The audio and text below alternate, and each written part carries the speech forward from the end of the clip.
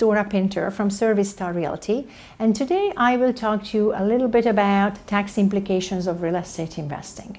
One of the most common things that is overlooked in real estate investing is tax planning, uh, figuring the savings that lie within. The government allows you to depreciate an asset that you put in service they dictate the economic life of that asset. In real estate, the economic, the economic life is 27 and a half years. For example, if you purchase a property for $300,000 and let's say the value of the land is 25,000, uh, and the land cannot be depreciated. So you will end up with the value of $275,000 that is depreciable. Divide that by 27 and a half years, and you will have a $10,000 a year tax write-off for just owning that property. If you earn, for example, $75,000 a year, the $10,000 loss lowers your annual income to $65,000.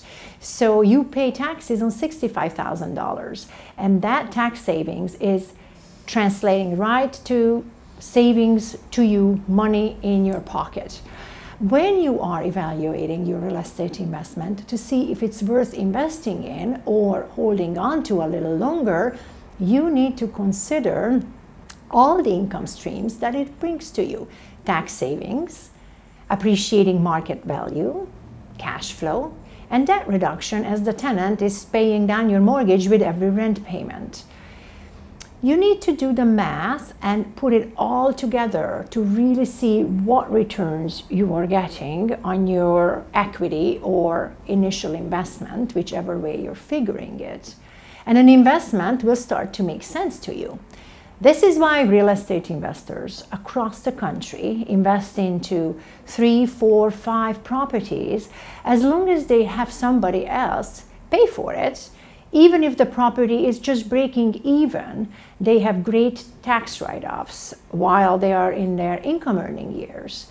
And by the time they retire, uh, they will have the property paid down. This way, they have the tax write-off when they need it and the nest egg built up in the property for tomorrow. Real estate is one of the best retirement vehicles out there.